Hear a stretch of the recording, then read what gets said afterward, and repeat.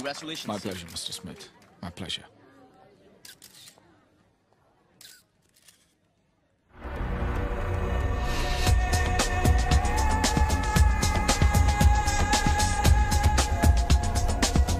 Hello mister Mallya hello mister Scindia हमें police वाला होने का यही फ़ायदा है पार्टीज़ के इनविटेशंस आते रहते हैं जी हेलो मिस हेलो हम मिल चुके हैं इन्हीं की शॉप पर मिस सांज आप घबराइए मत। मैं यहाँ पर रोहन के बारे में कुछ बात करने नहीं आया। मिस्टर मालिया हम पुलिस वालों की बस यही प्रॉब्लम है। जहाँ भी जाते हैं लोग सोचते हैं कि हम इंस्पेक्शन या इंक्वायरी करने आए हैं। अरे भाई हमें भी हंसना मुस्कुराना अच्छा लगता है। जी। अब देखिए हम किसी एंगल से आपको पुलिस वाले लगते हैं? जी नहीं। आप विस्की पीते हैं ना? जी।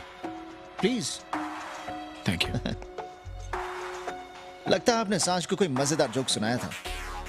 इसलिए ये खिलखिलाकर हंस रही थी। और मैं देख रहा था कि आप इनको हंसता देखकर बहुत खुश हो रहे थे। Cheers, Cheers. मिस्टर मालिया साँझ के दिल की हालत मैं समझ सकता हूँ।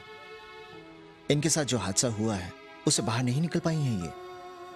मैं भी ऐसे एक हादसे से गुजर चुका हूँ। और उसका असर अभी तक मेरे दिल में है। मिस्टर मालिया जो पहला प्यार होता है ना उसको आदमी भूल नहीं पाता। Right. Right. साँझ तुम रोहन को अपने दिल से कभी नहीं निकाल पाओगी। अच्छा आप ये बताइए कि आप रोहन को पहली बार कहाँ मिली थी? Mister Scindia please. I am sorry मुझे ऐसी बात नहीं करनी चाहिए। क्या करूँ? पुलिस वाला हूँ ना। केस को अपने दिमाग से बाहर निकाल ही नहीं पाता। Excuse me excuse me you okay? Scindia साहब एक फ़ोटो प्लीज़ वाई नॉट एक मिनट एक मिनट। हमारी भी एक ऐसी तस्वीर छपनी चाहिए ताकि लोग समझे कि हम भी उन जैसे हैं। Thank you thank you sir thank you sir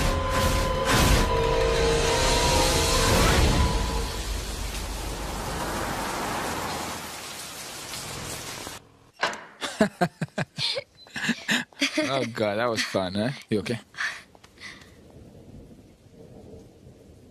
अरे तुम लोग भीग कर आ रहे हो? ज़रूर साँझ ने जिद करके भिगोया होगा। नहीं, नहीं। इसे भीगना बहुत पसंद है। आप मना कर देते। नहीं नहीं साँझ ने मुझे नहीं भिगोया। दरअसल मैंने ही साँझ को अच्छा mom please make some coffee for us और इनके लिए जरा स्ट्रॉन्ग कॉफ़ी बनाइएगा। इनको भीगने की आदत नहीं है। अच्छा माँ मैं चेंज करके आती हूँ। Please excuse Yeah. मी काफ़ी दिनों बाद मैं साँझ को इतना खुश देख रही हूँ साँझ को इस हादसे से बाहर निकालने में आपका बहुत बड़ा हाथ है, मिस्टर मालिया वरना इस उम्र में अगर किसी लड़की के साथ ऐसा कुछ हो जाए तो ज़िंदगी में साँझ की ज़िंदगी इतनी सस्ती और कमज़ोर नहीं कि कोई भी उसे आसानी से चोट पहुँचा सके I'm sorry. I'm sorry. Mrs Batra अगर आप मुझे इस काबिल समझती हैं तो मैं तो मैं आपकी बेटी से शादी करना चाहता हूँ। बहुत खुशकिस्मत है मेरी बेटी। ये प्रपोजल देकर आपने मेरी ज़िंदगी बहुत आसान कर दी मिस्टर मालिया। माँ मिस्टर मालिया एक बहुत अच्छे इंसान है। मैं उनकी इज़्ज़त करती हूँ। वो मेरे अच्छे दोस्त हैं। और मैंने कभी भी उनके लिए एक रिश्ते के लिए और क्या क्वालिटीज चाहिए किसी के अंदर? तुमने कितनी बार कितने मौकों पर मिस्टर देव माल्या की तारीफों के पुल बांधे हैं। जब उस इंसान में सब अच्छाइयाँ हैं तो फिर? माँ किसी के अच्छे होने का ये किसी का अच्छा होना ही सब कुछ है। शादी कोई चंद दिनों की मौज मस्ती नहीं है पूरी ज़िंदगी का खेल है। और इसीलिए ये फैसला कि ज़िंदगी किसे सौंपी जाए बहुत सोच समझ कर लेना चाहिए। ये गलती मैं कर चुकी हूँ बेटी। और उस एक गलती की वजह से मैं सारी ज़िंदगी झुलसी हूँ।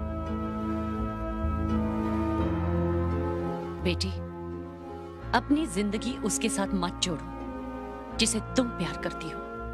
उसके साथ जोड़ो, जो तुम्हें प्यार करता है। और मिस्टर देव माल्या तुमसे प्यार करते हैं। बहुत प्यार।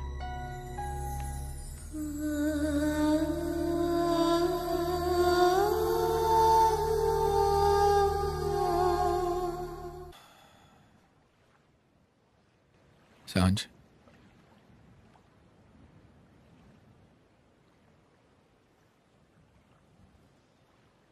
साँझ शादी का मतलब समझती हो ना? ज़िंदगी भर का साथ।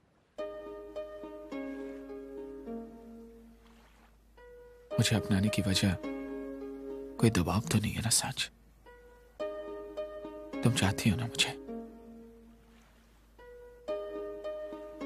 अगर हाँ तो इसका जवाब मैं तुम्हारी धड़कनों में सुनना चाहता हूँ।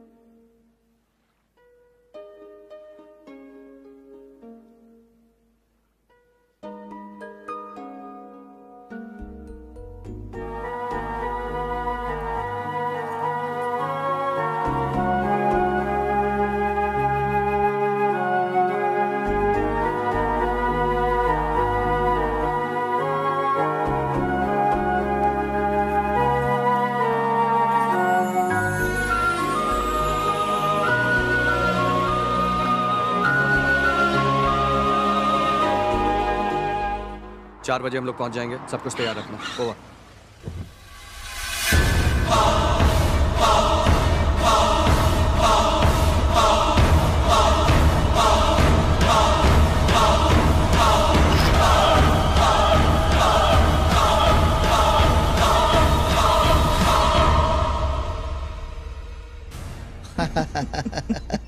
मास्टर जी ने उसके कान पकड़े और उसे कहा कि आइंदा ऐसा मत करना। लेकिन उसका चेहरा देखने लायक था। अरे देव बेटा।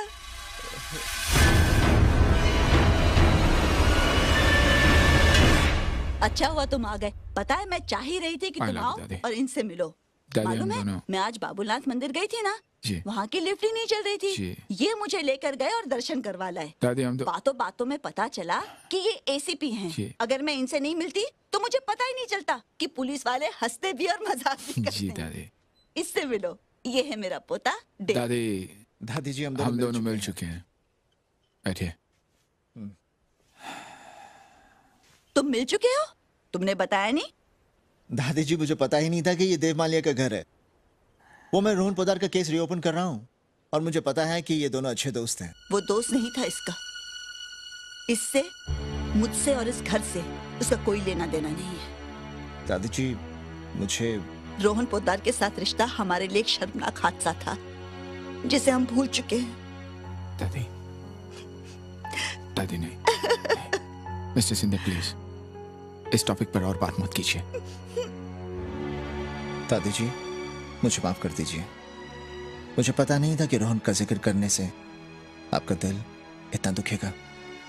लेकिन मुझे एक बात का यकीन हो गया कि आप उससे बहुत प्यार करती है।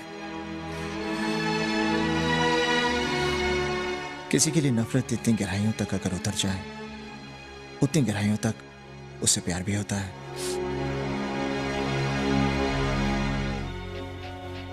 दादी जी से मिलने के बाद अब इस केस की अहमियत मेरे लिए और बढ़ गई है। मैं ज़रूर जानना चाहूँगा कि क्राइम करते वक्त रोहन को दादी जी का ख्याल करनी है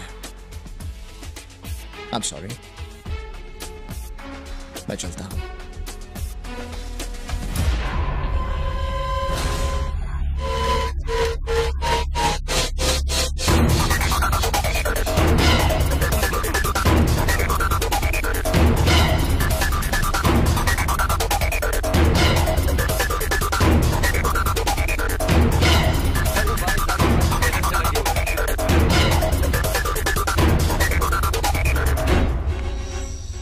सर, इसे गन्या बोलते हैं। पूरा नाम है गणपत पावले।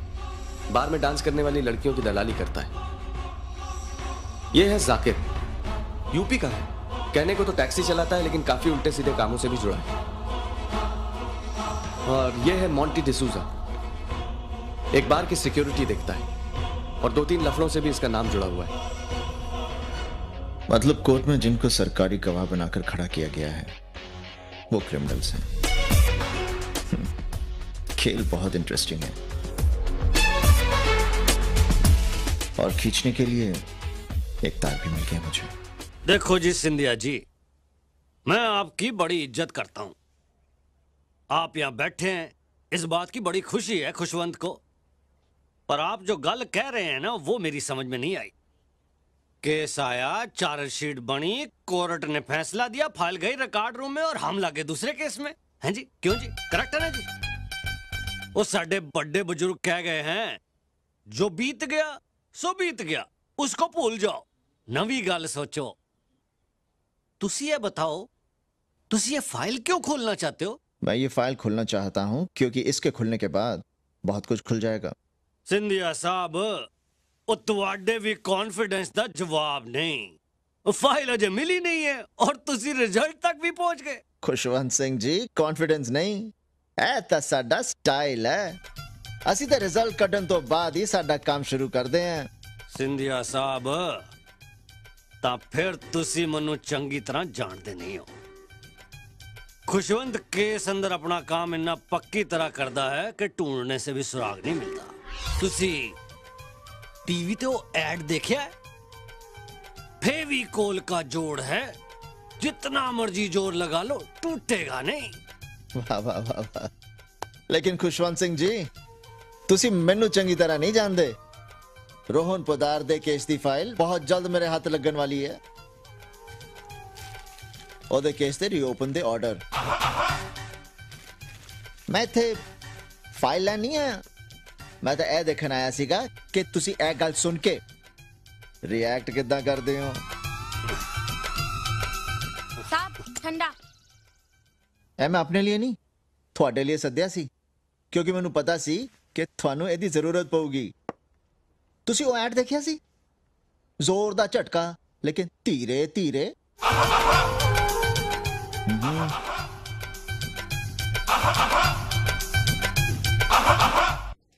ਖੁਸ਼ਵੰਤ ਸਿੰਘ ਜੀ, ਇੱਕ ਗੱਲ ਹੋਰ। ਸਾਡੇ ਬਜ਼ੁਰਗਾਂ ਨੇ ਕਿਹਾ ਹੈ ਕਿ ਜ਼ਿੰਦਗੀ ਦਾ ਵਾਸਤਾ ਹਮੇਸ਼ਾ ਸੁੱਖਾਂ ਨਾਲ ਨਹੀਂ ਹੁੰਦਾ। ਕਦੀ ਕਦੀ ਦੁੱਖਾਂ ਦਾ ਸਾਹਮਣਾ ਵੀ ਕਰਨਾ ਪੈਂਦਾ ਮੇਰਾ ਕਹਿਣ ਦਾ ਮਤਲਬ ਇਹ ਹੈ ਕਿ ਤੁਹਾਡੇ ਘਰ ਵੱਲ ਦੁੱਖਾਂ ਦੀ ਬਰਾਤ ਆ ਰਹੀ ਹੈ। ਭੰਗੜਾ ਪਾਉਣ ਦੀ ਤਿਆਰੀ ਕਰ ਲਓ। ਹਾਂ।